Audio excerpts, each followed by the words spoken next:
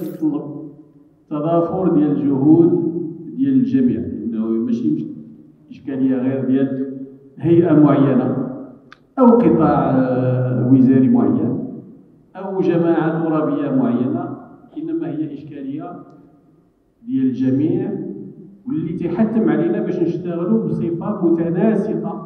ماشي كل واحد بعض المرات تيدير المجهود ديالو ولكن تيديرو غير بالمنظور ديالو. الا خدينا التجارب اللي كاينة في المنطقة ديالنا.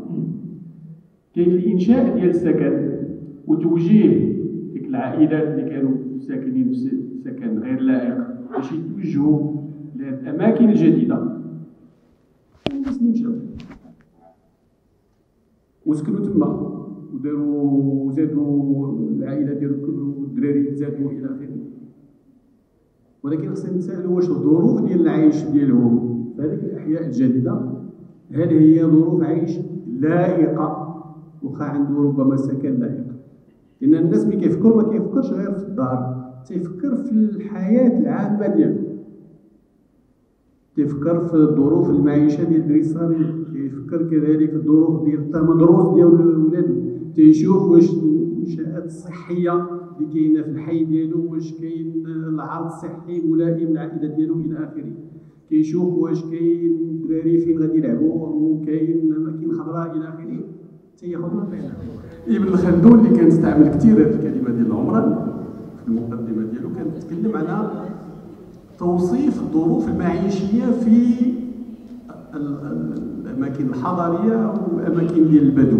وانت تتكلم على التوصيف ديال الحياة المعيشية اسمها العمرانيه هي الطريقة ديال التعايش. من السكن من كيفاش الناس كيعيشوا كيفاش كيديروا التجارة فين كيشتغلوا إلى آخره.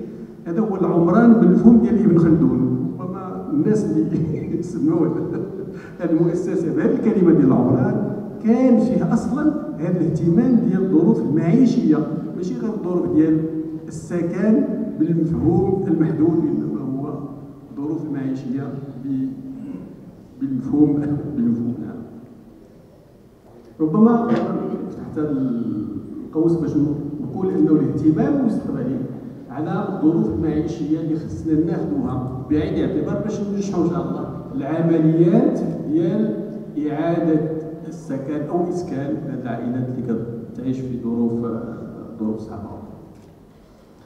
توجه كذلك نقطه اشار لها سي كالوني هو كيف ما كان الحال بغينا أو كرهنا التوجه المستقبلي في العالم باسره إنه النسبة ديال الناس اللي غادي يسكنوا غادي يسكنوا في المدن غادي يرتفع وغادي يرتفع بواحد الوتيره كبيرة في المستقبل الدول. المتقدمه دازوا من هذا الشيء تقريبا كاين دول تقريبا 90% ديال الساكنة ديالهم عايشين في المدن.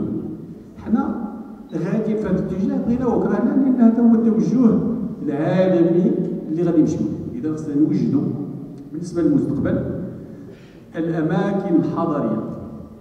المجال الحضاري يتحضر توجد باش يستقبل هذا العدد ديال الملايين ديال, الناس المستقبل. في نفس الوقت كان اهتمامات جديدة اللي ربما ما كانش هذه 40 سنة أو 30 سنة. سي بودين حاضر معنا الاهتمام بالطاقه اللي غادي نستهلكوا في هذه المدن. واش هذا البناء اللي كان بنيو واش هذه الطريقة ديال العيش؟ ماشي غير البناء اللي كي كيستعمل الطاقة. حتى الطريقة ديال العيش. إلا أنا كنسكن هنا وكنخدم هنا وخصني كل نهار نتنقل أنا غادي نستهلك واحد العدد ديال الطاقة كيلو وات سواء كانت ديزل ولا اسونس ولا إلكتريسيتي إلى آخره. اذا الطريقة ديال التنظيم ديال العيش هو تيحدد كذلك استهلاك الطاقة. اذا كيفاش غادي نفكروا كيفاش ننظموا الحياة ما بين العمل وبين السكن وبين الترفيه العوامل ديال الاستهلاك الطاقي خصنا ناخذوها بعين الاعتبار أكثر من اللي كنا كنفكروا فيه آه، ربما في الوضع كذلك بالنسبة للبيئة كاين أشياء بالنسبة للجماعات كذلك اهتمام كبير بهذه الميادين وتيدخل كذلك في في المجال ديال الاهتمامات ديالهم وحتى في البرامج ديالهم ربما السيده الرئيسه أو السيد الرئيس كذلك ممكن يكملوا في الموضوع اللي البي دي واحد الباك.